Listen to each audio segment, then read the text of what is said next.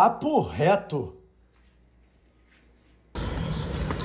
Fala tricolor, fazendo aqui meu passeio diurno, né? É, indo aqui comprar umas coisas no hortifruti para fazer uma uma sopa aqui pra, pra gente, pra minhas filhas, pra minha mulher, né? Fazer uma canja de galinha, né? Quem não gosta de uma canja. Então tô aqui abrindo esse vídeo aqui para fazer para vocês, é, pra gente falar aqui um pouco sobre os acontecimentos da semana aí, né? Um, mandar o nosso papo reto aqui sobre os acontecimentos da semana. Tenho aí é, a situação do Fluminense, né?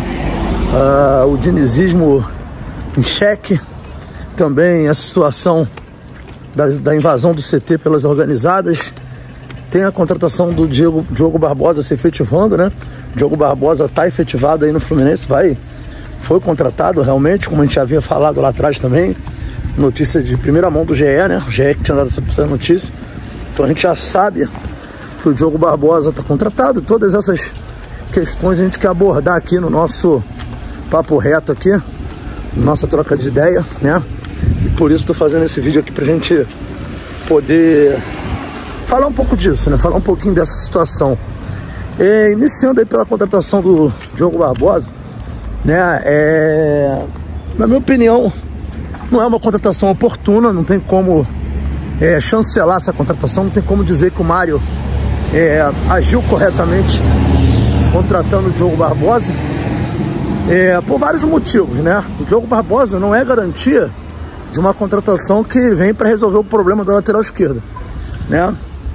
Muito pelo contrário, Diogo Barbosa vem de duas temporadas muito ruins, muito ruins mesmo na carreira dele, né? Fez um último ano agora terrível pelo Grêmio, né? O que eu recebi de mensagem de gremista aqui no, no nosso canal falando, poxa, muito obrigado por levar o Diogo Barbosa, não tá no gibi, né? Mas assim, é, uma coisa é você não concordar com a contratação feita pelo presidente Fluminense, Outra é você atacar o jogador, vaiar o jogador antes do jogador entrar em campo e achar que ele vai dar errado antes dele entrar em campo, tá? Por que eu tô falando isso? Porque a gente não tá falando de um pereba, a gente tá falando de um jogador que nunca jogou nada na vida dele, né? A gente não tá falando de Thiago Santos, a gente não tá falando de Alexandre de Jesus, a gente tá falando de um jogador que inclusive já foi convocado para a seleção brasileira, ou seja, se ele fosse tão ruim assim, ele não teria sido convocado um dia pela seleção brasileira. Então a gente não está falando de um burucutu, está falando de um jogador que tem qualidade, mas que vem muito mal, né? Vem, vem aí de baixa. E aí muitas coisas podem estar envolvidas nisso, né? Isso pode ter relação com muita coisa mesmo. Isso pode ter relação com questão psicológica, que, é, questão profissional, questão física, questão emocional. Tem muita coisa que pode estar envolvida nisso. Então é difícil você falar agora desaprender a jogar futebol, não desaprendeu. É um jogador que tem qualidade e pode voltar a jogar futebol. Então esse é um ponto importante para a gente falar aqui é, sobre o Diogo Barbosa, tá? Então eu vou esperar, vou analisar, mas de, de longe não acho que foi uma contratação coerente porque a gente tinha a opção de testar jogadores, né? O próprio Esquerdinha poderia ser testado, o GFT poderia ser testado. São jogadores da base que não quer dizer que vai dar certo, mas eu acho que estão ali para isso, né? Estão ali para a gente testar, para a gente tentar ver se os caras podem dar certo. Não, não são tão, não são é, é, jogadores de 16, 15 anos, jogadores de 18 anos. Poderia tranquilamente ser testados. É, tem o Marcelo que não vai jogar muitos jogos, a gente sabe. Vai jogar alguns jogos, mas é o titular da posição. Enfim, é... então na minha opinião não fez muito, não faz muito sentido. Mas volto a falar, quanto ao jogador, não é um jogador ruim, não se trata de um burucutu. Falando aí dos protestos organizadas no CT do Fluminense, é, pelo que eu vi lá, não teve agressão, não teve pancadaria, não teve nada disso, não teve ameaça de nada, né? Muito pelo contrário, o Jorge, é o Jorge não, é, é o Jorge, perdão, que é um jogador que saiu aí, né? Imagens dele na noite, né? Em meio a tratamento curtindo a noite aí, que foi alvo de muitas críticas da torcida.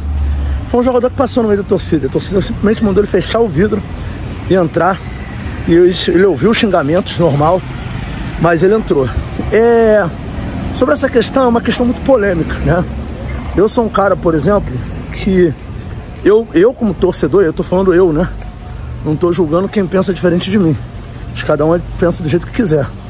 É, eu não acho esse tipo de protesto contra jogador lá no CT uma coisa assim muito eficaz. Eu acho que o protesto ele, ele tá mal direcionado. Eu acho que esse protesto tem que ser direcionado a quem é responsável pela contratação dos jogadores e quem é responsável por fazer, por, por gerir a, a, a carreira do jogador ali, né? Quem é o responsável por, por monitorar se ele está cumprindo né, as metas que são dadas a ele, sobretudo as metas profissionais, né? Tipo, o cara que está contundido, se dedicar a, a voltar, né? É, fazer as prescrições que o médico determina, não ficar na noite bebendo, porque o jogador de futebol tem um corpo como instrumento, então ele não é uma pessoa comum como eu e você, como eu ouço muita gente falar. Ah não, ele tem que ter o direito de virar a madrugada chapado porque ele está no horário de lazer dele. Não, não é assim. Ele não depende do, do de outro, só depende do corpo para desempenhar, para performar. Então, com certeza nos contratos que se faz com esses caras, tem isso, que eles têm que se cuidar, seguir a prescrição da fisiologia, prescrição médica. Tem que ter alguém para fiscalizar isso com certeza não é o torcedor que tem que fazer isso. É alguma pessoa, né? Então, eu acho que as cobranças, elas tinham que se direcionar aos protestos ao Mário Bittencourt, ao Fred, ao Angione e também ao Fernando Diniz, que foi quem pediu essas contratações e foi quem fez o planejamento desse ano, tá? A gente não pode esquecer que o Diniz tem responsabilidade direta no planejamento do time desse ano.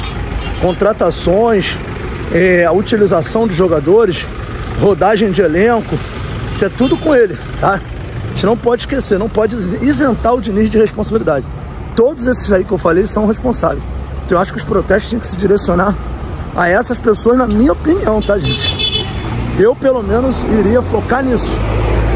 Eu não iria focar em protestos contra, contra jogador, tá?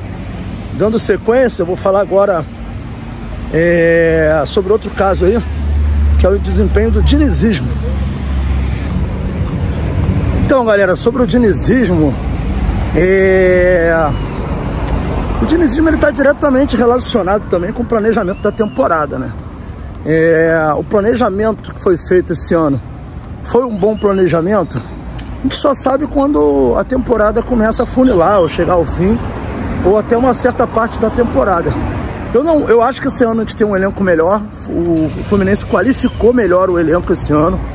Lembrando que o Fernando Diniz foi o maior responsável pelo planejamento desse ano. Ele teve carta branca para contratar jogadores, para pedir contratações, para montagem de elenco. E a informação que a gente recebeu a todo momento foi que foi pedido dele, né? Trabalhar com um elenco menor. Um elenco de no máximo 30 jogadores. Foi o que ele, foi o que ele pediu. É, isso daí eu acho temerário pra caralho. Acho que trabalhar com 30 jogadores é muito temerário, considerando a quantidade de jogos que a gente tem no país e considerando a possibilidade que, que tem de contusões, né? Vale lembrar que só no mês de março a gente teve nove jogos, março, abril, maio, nove jogos por mês. Então, trabalhar só com esse número de jogadores na minha opinião, não foi coerente.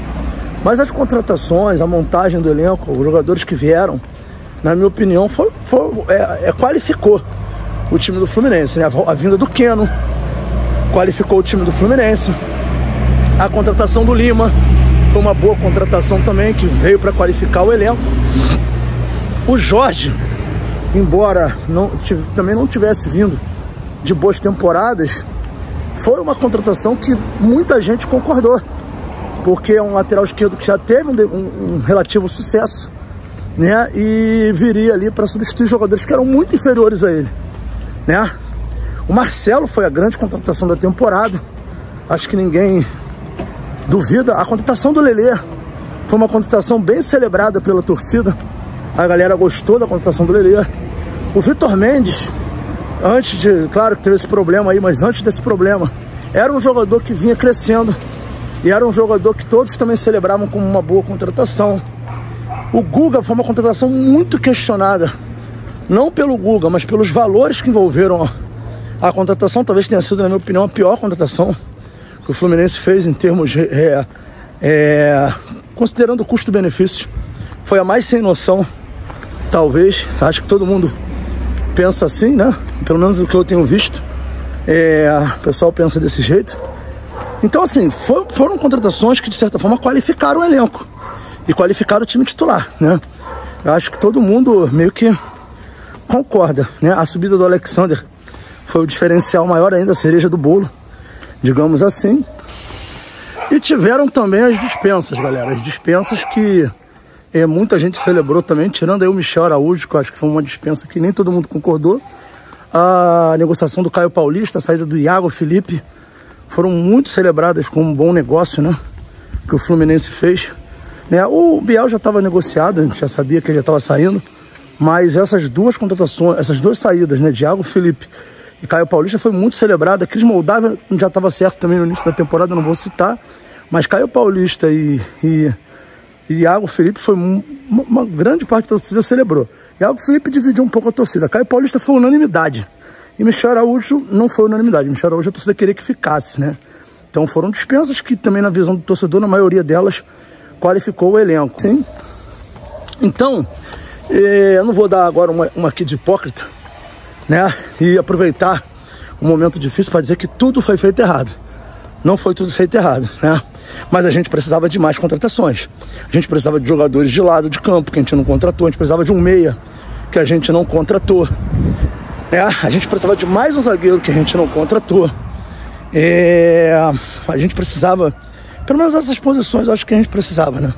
Para poder dar uma, uma encorpada e ter um elenco com opções, um elenco bom.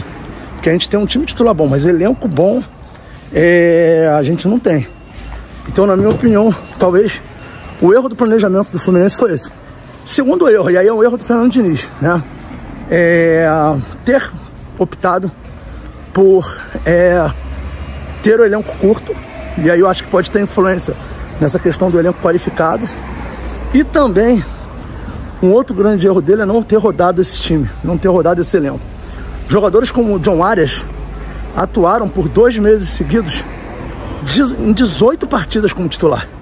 Nove em cada mês. O John Arias jogou as nove partidas do Fluminense no mês de abril e maio, sem parar. É um que eu não sei como não se contundiu, né? É... Então essa rotina de incessante de muitos jogos e ele não rodar o elenco, na minha opinião, foi determinante determinante para perda é, de qualidade que o time teve, para a queda que o time teve. Porque a gente é, percebe uma queda física muito considerável no time. E essa queda física está relacionada ao excesso de jogos, porque tem um desgaste físico e um desgaste emocional também. O cara cansa de ficar jogando uma porrada de jogo um atrás do outro. Eu acho que ele errou nisso. Ele errou de não, de não rodar o, o elenco. E é um negócio que ele não gosta de fazer. Isso é do próprio Diniz. Então esse é um outro aspecto que eu acho que tem influenciado na queda de produção do dinizismo. Né? Do, do, do, do Diniz, né? Não dinizismo, mas do Diniz. É, outra questão também muito importante, o Diniz ele utiliza a base, mas ele utiliza a base muito mal. Muito mal. Ele, ele coloca os caras para jogar em situações que não são oportunas. Em situações bizarras, assim.